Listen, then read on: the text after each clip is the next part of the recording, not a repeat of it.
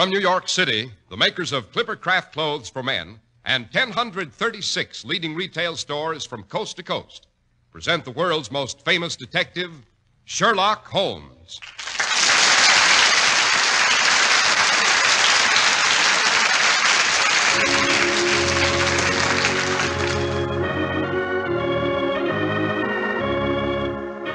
This week's story The Adventure of the Illustrious Client. Well, here we are again in Dr. Watson's famous study. He has just given us a tall frosted glass that clinks pleasantly and is now rearranging his notes and papers. Ah, there now, Mr. Harris, we're all set, as you say in America. Good. Then let's get on with it, as you say in England, Doctor. yes. But tonight I think I'll tell you how Holmes disillusioned a charming young lady and consequently saved her from what is commonly called a fate worse than death. Mm, oh, yes, yes, but before we begin to get too involved in that rather complicated affair, Mr. Harris, you'd better say a few words on a subject that's very appropriate at this particular season of the year. A very good idea, Dr. Watson. Here's a fact you ought to know. There's no reason in the world for you to pay high prices for a beautifully tailored, smartly styled suit of clothes. Not with Clippercraft available. Clippercraft clothes feature long wearing fabrics, are superbly made, and better than fairly priced, despite rising costs of materials and manufacturing. There's a big reason Clippercraft clothes are priced so modestly. It's the famous Clippercraft plan, concentrating the buying power of 1,036 of the nation's finest stores from coast to coast, providing steady year round operation, lowering manufacturing and distribution costs. It makes available the finest suits you've ever seen for only 40 to 47.50. Handsome tropicals at 33.75 to $40 and sport jackets at only 26.50. Naturally, more fine stores than ever are welcoming the Clippercraft plan. These are the days it really goes to work for you. Compare Clippercraft with clothes selling for many dollars more.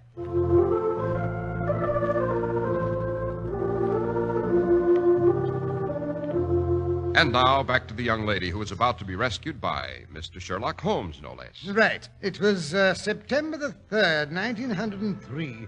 A few years after my marriage, if you remember. Well, I dropped around to Baker Street in the middle of the afternoon. There was Holmes lying on the sofa, pipe in hand, a piece of letter paper dangling from his long, lean fingers.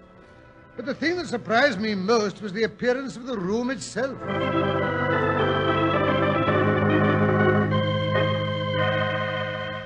Hello, I say, Holmes, what's up? Have we reached the millennium? What do you mean? Well, I'm alluding to the unprecedented tidiness of the room. Oh, that. It's Mrs. Hudson's doing. Oh. She's got wind of the fact that I'm expecting a call from Sir James Damery this afternoon, and she took a mean advantage of my being out of the house this morning to commit this this atrocity. Oh, not a bad idea. I won't be able to find anything for weeks. And, and my hair, look at it. Oh, don't tell me Mrs. Hudson made you brush it. Women are tyrants, Watson. Tyrants. Oh, rubbish.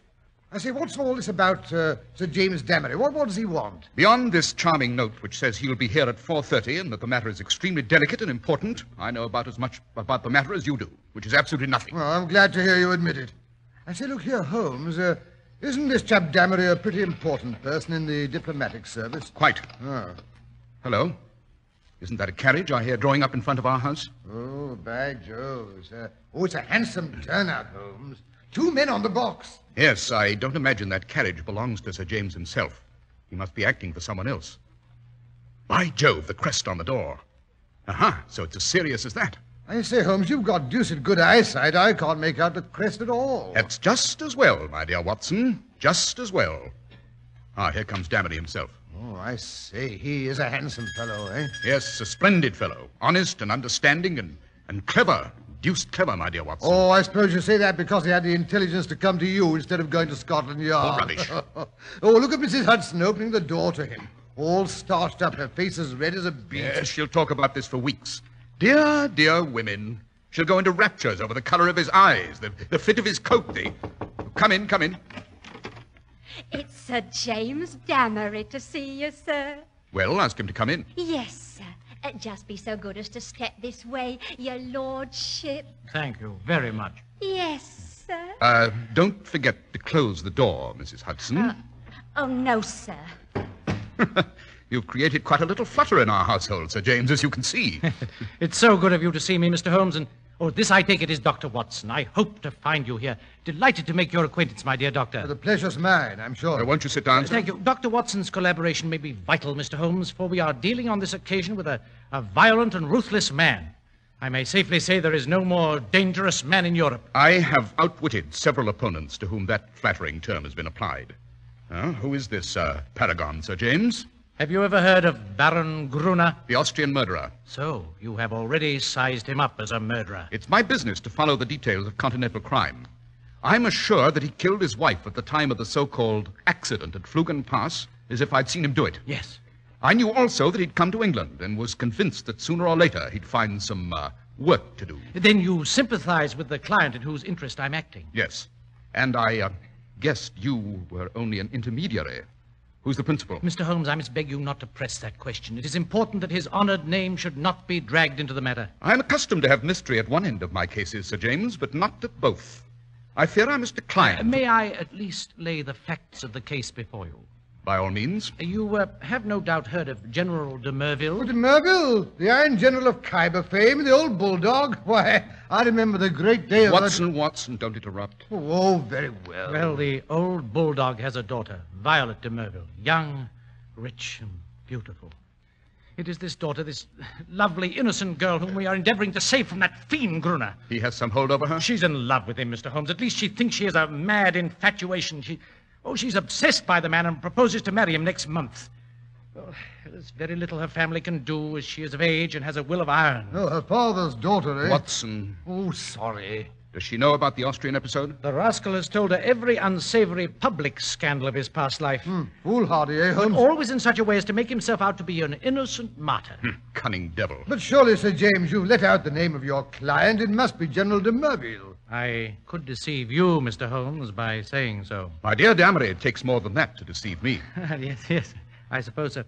Let us say, then, that my client is an old friend who has known the General intimately for years and has taken a paternal interest in the girl since she wore short frocks. It, it was his suggestion that you should be called in. Hmm, very flattering. Your problem interests me, Sir James. I'm prepared to look into it. Excellent. In case of developments, you can reach me at the Carlton Club. And the Baron's address? Vernon Lodge near Kingston. It's a large house. He has been fortunate in some shady speculations and is a rich man, worse luck. Yes, that makes him all the more dangerous as an antagonist. Can you give me any further information about him? His, his personal habits, I mean? He has expensive tastes. A horse fancier, plays polo, collects books, women. And is a recognized authority on Chinese pottery, has even written a book on the subject. Hmm, Chinese pottery. A complex mind, like most great criminals. Well, Sir James, you will inform your client that I am undertaking the case of the Baron Gruner. I am exceedingly grateful, Mr. Holmes. Not at all. Well, uh, good luck, gentlemen, and uh, good afternoon. Good Good afternoon. Oh, dear me, this is a delicate situation, eh? Well, Watson, any news? Well, I should think you'd better see the young lady herself. De Merville's daughter? No, no, no. That's more or less of a last resort. No young woman in love is ever very reasonable. And Violet has her father's determination in all probability. No, first of all, I think I shall consult Shinwell Johnson. Shinwell Johnson. Who's he? Well, suppose we meet for lunch tomorrow at Simpson's. I'll ask him to drop around with any information he's been able to pick up. Don't disappoint me, Watson. Oh, no. I think I may be able to introduce you to a colorful personality. Oh, I'll be there, never fear.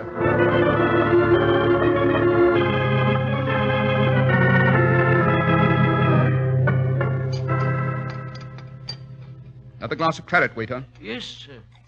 Well, Watson, Johnson's on the prowl. He may pick up some garbage in the dark recesses of the underworld, but it's down there that we must look for Baron Gruner's secrets. Yes, but who's this Shinwell Johnson fellow? An ex-convict whom I've succeeded in reforming served two terms at Parkhurst. Oh. Consequently, he has the entree to every nightclub, doss house, and gambling den in town. An ideal agent for gaining information, Watson. Yes, but if Miss Violet's not affected by what she already knows, why should any discovery of Mr. Johnson's change her mind? Who knows, Watson? Woman's heart and mind are insoluble puzzles to the male. Murder might be condoned or explained, and yet some smaller offense might rankle. As Baron Gruner remarked this morning, you can't. So you've seen him? Well, to be sure, didn't I tell you? No. Oh, dear me, how careless of me. I always like to meet my adversary eye to eye and find out for myself the stuff that he's made of. But didn't he recognize you? Naturally, I sent in my card. Oh, you are a character, Holmes. An excellent antagonist, this Baron Gruner. A real aristocrat of crime. Cool as ice. And as poisonous as a cobra.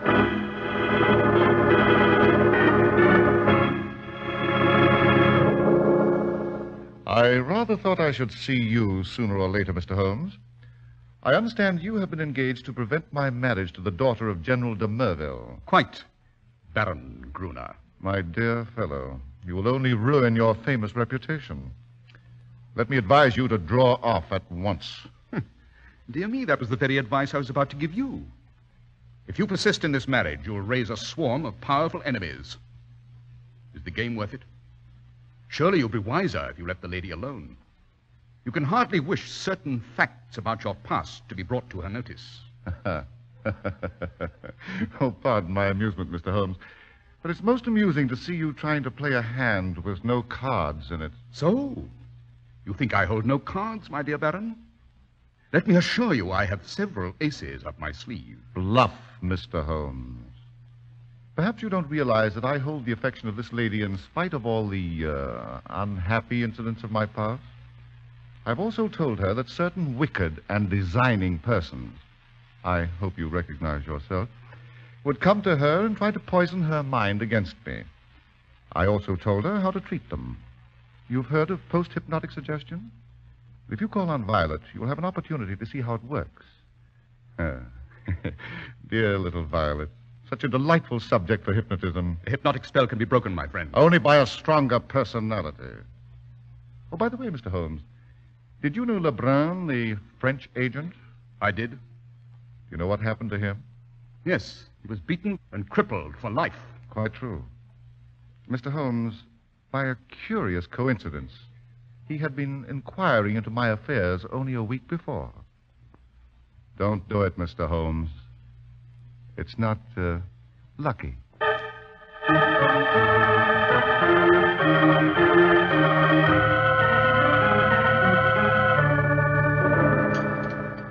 Nasty brute. I say, Holmes, you better watch yourself. He'll stop at nothing. Quite. Two attempts have already been made on my life, Watson. I always disregard the blusterer, but this is the sort of chap who says rather less than he means. Oh, but look, here comes Shinwell Johnson. The red faced fellow with the beefy jowls and the tremendous gold watch chain. But I say, who's his companion? The young woman, I mean, with a pale, intense look. She, she looks as if she'd lived a bit, Holmes. Yes, a dark page from Baron Gruner's past, I imagine. Ah, good afternoon, Shinwell. Good afternoon, Mr. Holmes. Uh, waiter, bring an extra chair for the lady. Yes. That's better. Uh, this here is Miss Kitty Winter. Oh, how do you do? What she don't know about the Baron, but she'll speak for herself. I found her within an hour after I heard from you. Quick work, eh, Mr. Holmes? I'm easy to find. The gutter, London, gets me every time. Same address for Porky Shinwell, but by cripes, Gruner ought to Yes, be... yes, yes. Then I gather we have your good wishes, Miss Winter. Look at me. What I am, Adelbert Gruner made me. If I can help put him where he belongs, I'm yours to the death rattle. You know how the matter stands? He's after some other poor fool. Wants her to marry him this time, eh? Don't you know enough about him to keep any decent girl in her senses from... She's not in her senses. She's in love. She knows pretty much all about him. She knows about the murder? Yes. Good Lord, she must have a nerve. She puts it all down to slander. We want proofs. Can you help us? Proofs. I think I'm proof enough. Let her take a look at me and listen to what I can tell her. Would you be willing to do it? Wouldn't I, though? Remember, he's told her most of his past. I'll wager he didn't tell her all. I'll bet she don't know he's got a book, a brown leather book with a lock. He must have been drunk that night or he wouldn't have showed it to me. What kind of a book? That devil collects women, Mr. Holmes, like some men collect butterflies. And he's proud of his collection. He's got it all in that book. Snapshot photographs, names, details, everything. If you could only lay hands on that book. He's probably got her in there with the rest of us by this time. She'd like that, wouldn't she? Where is this book? It's more than a year since I was in his study. I knew where it was kept then. Do you know his house? I've been in his study. I'll hand it to you for being on the job. Maybe he's met his match this time. Well, the outer study is where he keeps his Chinese crockery. A big glass cupboard between the windows. Then behind his desk is a door that leads to the inner study. It's in there that he keeps his papers and things. Well, isn't he afraid of burglars? Say what you like, he's no coward. He can look after himself. Besides, there's a burglar alarm at night. I see. If we could get into that study, Miss Winter, Do you think you could show us where that book's hidden? Sure. Oh, but look here, Holmes, you can't go breaking into a strange house. It's against the law. Quite, and I wouldn't dream of doing it, except as a last resort. But come along, Miss Winter. We'll see how far our legal efforts get us before we turn to other tactics. What do you mean? Suppose we just drop in on Miss Merville for a little chat.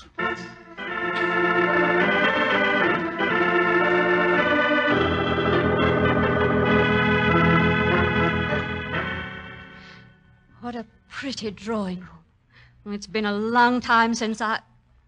You won't believe it, Mr. Holmes, when I tell you I once had a nice home, too. Obviously, my dear, I can tell by your hands you were a lady. The rough talk you assumed to cover it up didn't fool me for a minute. Oh, sir, I'm so nervous. I don't know if I can go through with it. Courage, Kitty. It'll be over in a minute. Quiet, someone's coming. Ah, Mr. de Merville, if I'm not mistaken. Mr. Holmes, I presume. Quite. Pray be seated. I've been expecting a visit from you. You have called, as I understand, to malign my fiancé, Baron Gruner. It's only fair to warn you, Mr. Holmes, that you're wasting your time. Nothing you can say will have the slightest effect on my mind. My dear young woman, I wonder if you realize what it means to be married to a murderer. And worse. His reputation will bar you from decent society in any civilized country. How can a woman of your upbringing consent Mr. to. Mr. Holmes, I'm aware that my fiancé has had a stormy life in which he has incurred bitter hatreds. You are only the last of a series to slander him. Don't think that I don't know your motive. You're a paid agent who would have been equally willing to act for the Baron if he'd consented to pay your price, but he refused. Oh, really, Mr. de Merville? Moreover, Mr. Holmes, I am not clear why you should bring this this person into my drawing room. I, I haven't the slightest notion who she is. No? Well, I'll tell you who I am. I'm his last victim. He'll kill you, that's what he'll do. It may be a broken back or a broken heart, but he'll break you one way or the other. I don't need your protection, thank you. Oh, it's not for love of you I'm speaking. I don't give a tinker's curse if you live or die. It's because I hate him, do you hear? And you needn't look at me like that. God knows you may be lower than I am before you're through. Let me say once for all that I'm aware of three passages in my fiancé's life when he became entangled with designing women. Three passages. Three passages, she says. Oh, you fool. You fool. Wait till you see that book.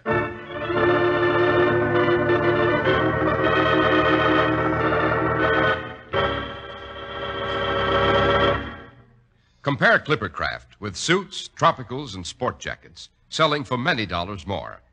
It's a wonderful way to prove to yourself how much you save with Clippercraft. The fine local independent stores who sell Clippercraft clothes from coast to coast make a business of giving you more for your money. Your favorite store, the store you can trust, is back of the remarkable Clippercraft plan. The plan that concentrates the buying power of 1,036 of the nation's finest stores from coast to coast. And that's why you can buy luxurious long-wearing fabrics in Clippercraft suits for only 40 to 47.50. Fine tropicals at 33.75 to $40 and sport jackets for only 26.50. Ask any of the millions of men who wear Clippercraft clothes. For selling expensive clothes at inexpensive low prices at the nation's finest stores is the great big idea behind the Clippercraft plan. That's why men who know insist on Clippercraft clothes. So be sure to visit the Clippercraft store in your city. These leading stores in the metropolitan area are proud to add their names to Clippercraft in your suits, top coats, sport jackets, and tropicals. In Manhattan, John Wanamaker Men's Stores, Broadway at 8th and 67 Liberty Street. Saks 34th, Broadway at 34th. In Brooklyn, Abraham and Straus. In Newark, New Jersey, Boulevard Men's Shop, Kresge, Newark. And in Jamaica, the B&B Clothes Shop, 16408 Jamaica Avenue.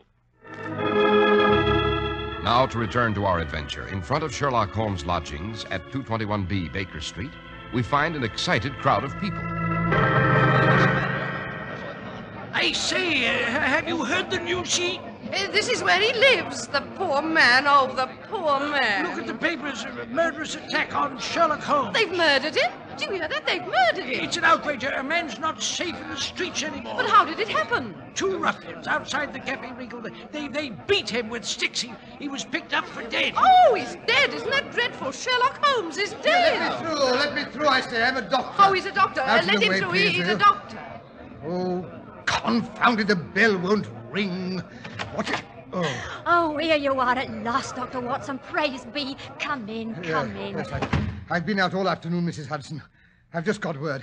Is he badly hurt? Oh, sir, they brought him in here all bleeding. They had to have that surgeon fella, Oakshott. Was Sir Leslie Oakshott? Oh, then it is serious. Yes, sir. He's been taking stitches in him and giving him morphine. Uh, do you think I can go up for a moment? Well, that Sir What's his name said as Mr. Holmes was to have absolute quiet. I had to stuff the doorbell on account of the newspaper fellows. Oh, yes, uh, quite right. Uh, But Mr. Holmes kept saying he had to see you as soon as you came. So that surgeon fellow said, all right, but only for ten minutes, mind. Oh, good. I'll go right up. Yes, sir.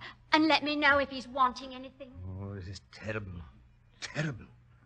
It's all the Baron's doing, of course. Wait till I lay my hands on Walk him. on tiptoe, Watson. It's not as bad as it seems. Oh, thank God for that. Of course, it's that rascal who set them on. I'll go and thrash the hide off him if you say so. I... Good old Watson. No, it's not necessary. But there is something you can do for me. Anything, anything at all. We haven't much time.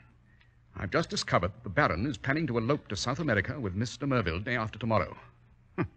Must be losing his nerve. Well, what can we do in that short time? You are to spend the next 24 hours in an intensive study of Chinese pottery. Me? Chinese pottery? Holmes, you're delirious. Not at all. Hand me that little box from the mantelpiece. Which way? Uh, this one? Yes, that's right. Only- Only open it for me, will you, Watson? These Right, clumsy bandages. I don't want to run any risk of breaking it. Oh, I say. It's a beautiful little deep blue saucer wrapped in silk. That is the real eggshell pottery of the Ming Dynasty. A complete set of it would be worth a king's ransom. The Baron would sell his soul for a set like that. Oh, what am I to do with it? Here is your card. Oh, yes, but this says Dr. Hill Barton, 369 Half Moon Street. That is your name for tomorrow evening. You will call on Baron Gruner at half past eight. But I- A note's already been set making the appointment and saying that you're bringing a specimen of an absolutely unique set of Ming china. You may as well be a medical man since you can play that part without duplicity. Don't want to put too much of a strain on your acting ability. No, now, look here, Holmes. Watson, I you're not going to go back on me at a time like this. Well, oh, no, no, no, of course not. But I say, what if he won't see me? He'll see you right enough. He has the collector's mania in its most acute form. The important thing is to cram up on Chinese pottery so you can carry on an intelligent conversation. Well, I'll, I'll do my best. Good. Half past eight tomorrow. Righto. Now, perhaps you'd better go. I'm afraid I feel a trifle weak.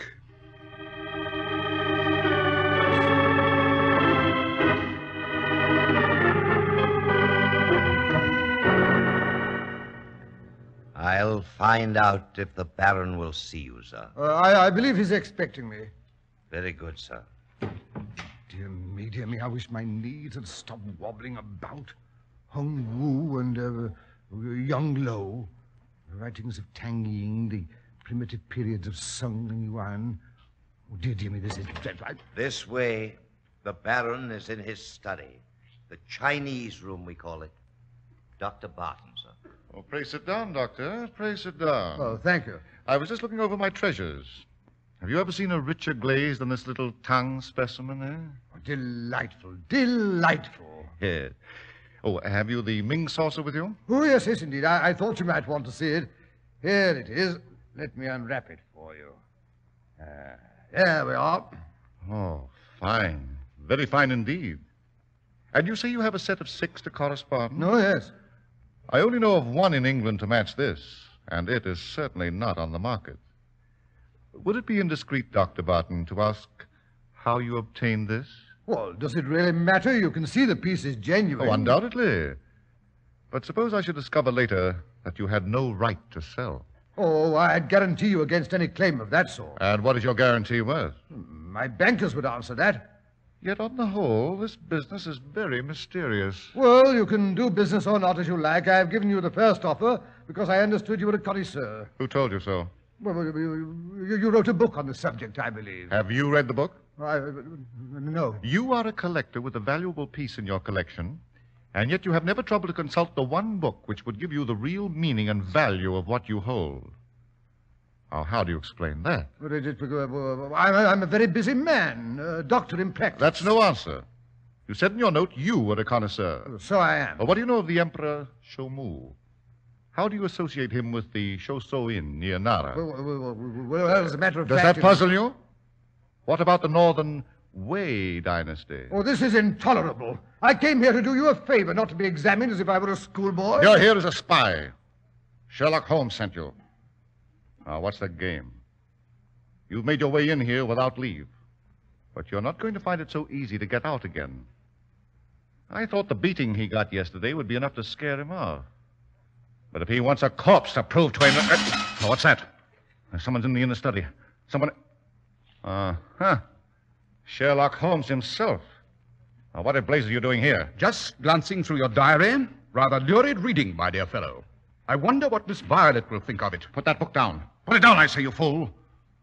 Uh, my men bungled. I told them to kill you. Well, I'm going to complete the job myself. Look out, Holmes, he's got a knife. Oh, no, you don't. I've got a little score of my own to settle. Why, Kitty, what are you doing here? Surprised to see me, eh? Thought I'd killed myself by this time. Well, I'm going to fix you. Oh, now, really, Kitty. You're most amusing. Go ahead and laugh. It'll be the last time. Very well, then. Take Stop her! Stop her, Watson! What oh, can I do? Watson, why didn't you stop her? She's blinded me. Oh, vitriol is burning my eyes out. Oh, water, for God's sake, water! That'll spoil your Oh, looks. The pain, I can't stand the pain. It's driving me crazy. Now laugh. Oh. Why don't you laugh?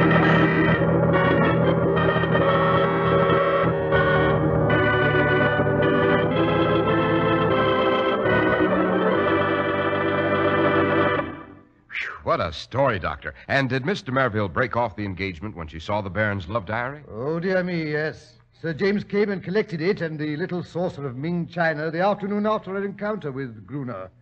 The diary was in the Baron's own handwriting. There was no way of getting around that. The wages of sin, my dear Mr. Harris, the wages of sin.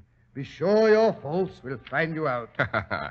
Uh, say, Doctor, apropos of nothing at all, was Mr. Holmes arrested for housebreaking? Now, what an idea. Well, there was some rumor about a prosecution, I believe, but when the purpose is good and the client sufficiently illustrious, even the rigid British law becomes human and elastic. Holmes is yet to stand in the dock. Uh, and the illustrious client, Doctor, did you ever find out who he was? Well, I could make a good guess.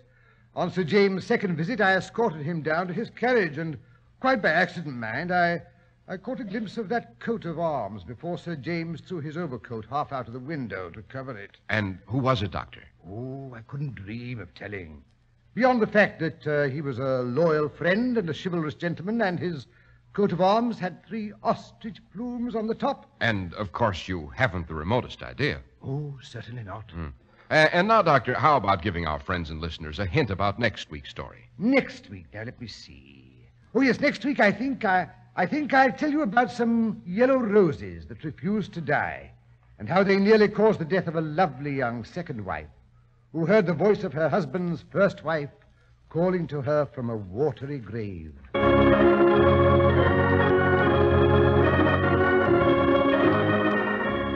The makers of Clippercraft Clothes and 1036 leading stores from coast to coast have brought you another in the new series of broadcasts featuring the world's most famous detective, Sherlock Holmes.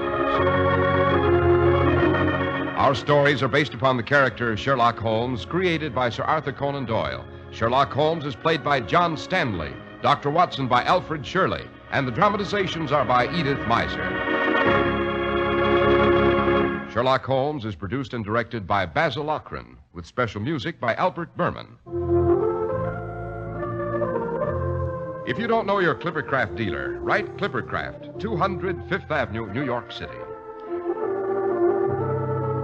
Be sure to listen next week to Sherlock Holmes in The Case of the Ever Blooming Roses.